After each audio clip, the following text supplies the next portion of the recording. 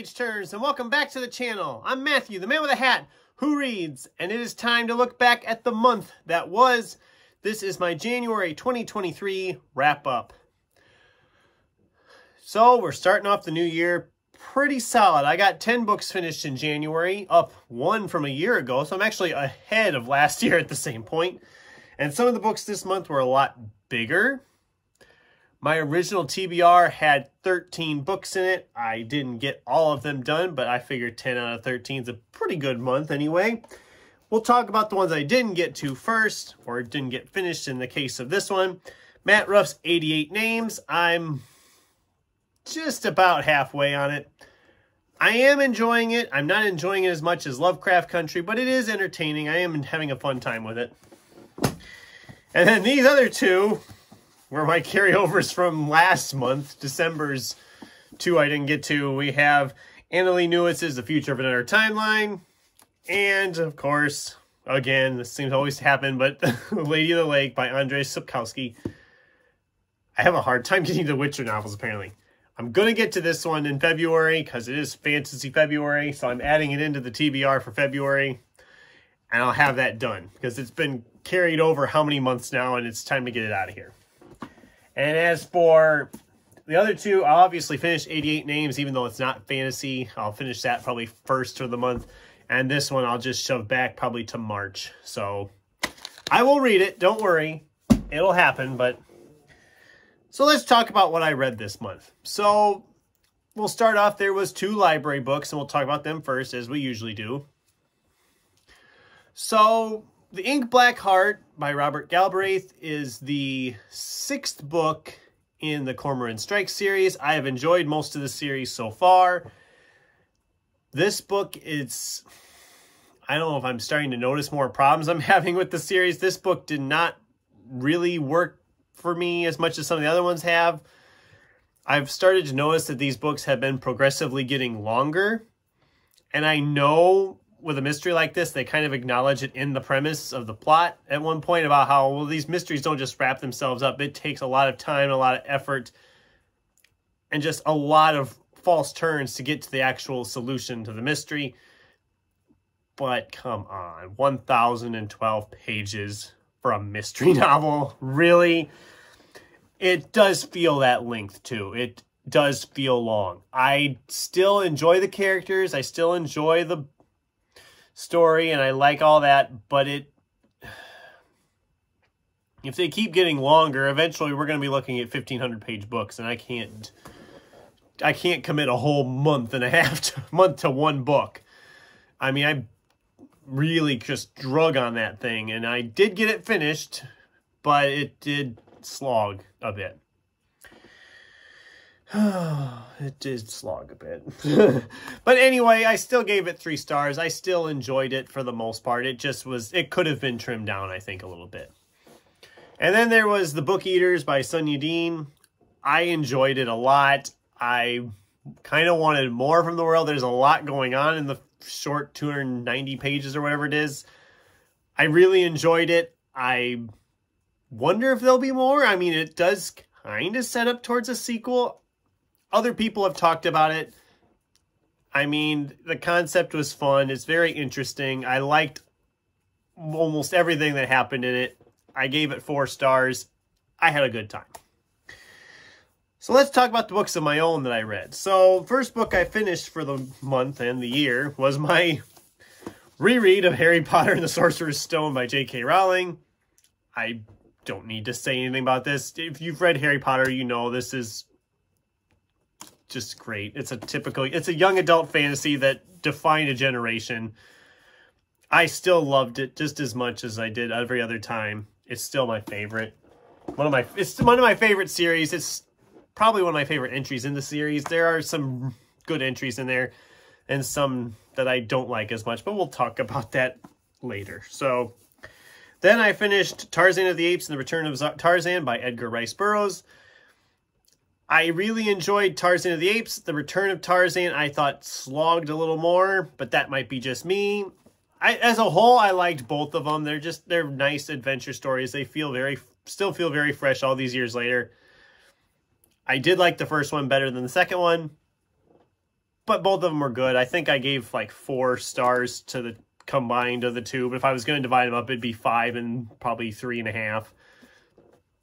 So averages out to four. That's just kind of what I did with that. Then we have Bill Flanagan's 50 in reverse. And this was my first disappointment for the year. I I don't think this book knew what it wanted to be. It started out like, okay, he woke up in his younger version's body. That's weird. And then it's like, okay, well, so now he has to relive his life and make different choices, maybe. But then it just gets, it keeps getting weirder and weirder. Pretty soon, history is not happening the way it, we all know it to happen, the way he knew it to happen. Um, it just, it's not very long, but it felt like it was a bit of a slog. I don't know. I didn't love this. I'm glad I didn't I glad I found this at like Dollar General for like two, three bucks. It wasn't that bad a price. And it wasn't terrible, but it went directions I wasn't expecting, and I didn't love it for that reason. But but I did love Scott Lynch's Red Seas Under Red Skies. I was very hesitant to carry on with this because I really loved Lies of Locke Lamora. If you watched my top 10 from last year, you know it was in my top 10. I'm like, can the sequel really come close to that? It can. This was fantastic. I almost needed to start writing notes down because of all the backstabbing going on and then the bait and switches and the betrayals upon betrayals. I mean, there's just so much going on. And it's almost uh, it's almost too much to keep track of, but I really loved this.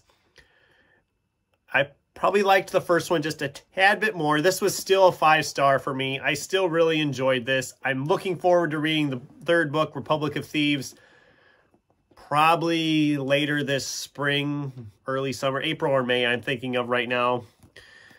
I don't, I'm going to give it some space and be ready for it because obviously I have a lot of fantasy to read the next month. So, and by March, I'm going to want to break from my fantasy other than the Harry Potter reread, and April's already filling up. So probably, probably May for Republic of Thieves, if all goes as planned. Then there was Mark Greaney's The Gray Man, the first Gray Man novel. I thought this was okay. I didn't love it. I mainly read this because I was going to watch the movie, I'm still planning to watch the movie within the next couple weeks. I haven't gotten to it yet. But from what I'm read reading of the synopsis for the movie and what I've read in the book now, what I've read in the book now, having read the book, it doesn't sound like it's a very faithful adaptation. It sounds like they make a lot of major changes. So that might be a video for adaptation discussion to watch the movie and then read the book, having read the book, then watch the movie and just see how they do. It doesn't sound like they do a very good job, but I don't know. I haven't seen the movie yet, so I can't say that for sure. But this was fine. I didn't hate it it was fine. It moves right along, really fast paced. I don't know if I'll continue on with the series or I I might. I don't know. It just I'm not as of right now, I'm not thinking I'm going to continue with the series, but who knows. Then there was Eric Idle's Always Look on the Bright Side of Life, a sort of biography, which it's Eric Idle. I mean, guy's a comedic legend the song is a masterpiece. You all know the song. And if you don't know the song, go look up the song because it's so, it's such great words to live by. This was very interesting. It feels very, um, what's the word I'm looking for? All over the place, which is fine if that's, I mean, it, it does seem like we really just are constantly moving around it's not a straight up biography because of it being all over the place. I enjoyed it. Don't know if I'd revisit it, but I did enjoy it. Then there was my reread of Harry Potter and the Chamber of Secrets. Remember what I said earlier about how some of the Harry Potter books I like more than others? This is one I don't like as much.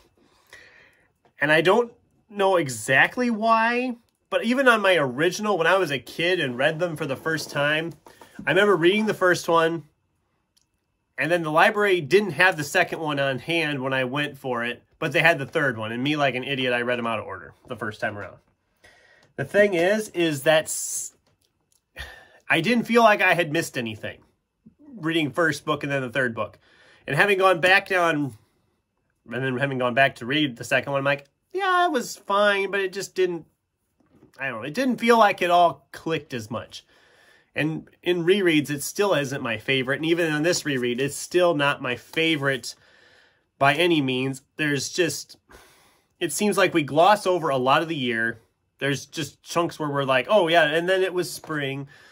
Um, Lockhart is easily the most annoying character in this book, if not the whole series. I don't like him, and they focus too much on him. Um, it just, I mean, I liked some of the stuff. I like that we meet new characters. I like that we're building the story up for what we know is to come. But it just doesn't feel as magical as the other ones do. It just doesn't I don't. It's just maybe that's just me. I'm sure it's just me. I'm in the minority. I'm sure on that. I know people love that book, and I'm glad you do. It's not my favorite. If I was to rank the series, not counting Cursed Child, it would probably be my bottom pick. But that's just me. And then the last book I finished for the month, actually finished it on the last night of the year, night of the year, night of the month. Jeez, the year's just starting. It's not over yet. DJ Butler's Witchy Eye. This was the first in the Witchy War series, I believe it's called. I don't remember what the series is called. Yeah, I think it's the Witchy War series. I really enjoyed this. This was so interesting. The character, I mean, it's set kind of like in the American